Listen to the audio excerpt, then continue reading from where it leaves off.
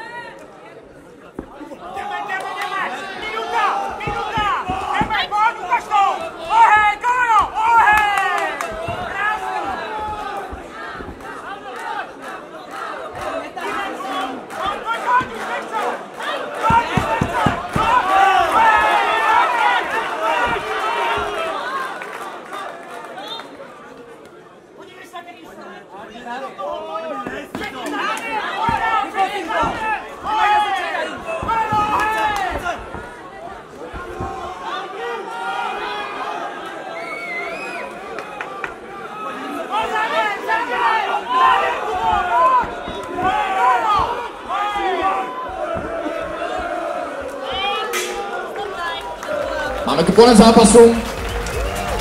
Zápas 3-0 na body vítězí Rok Modrý.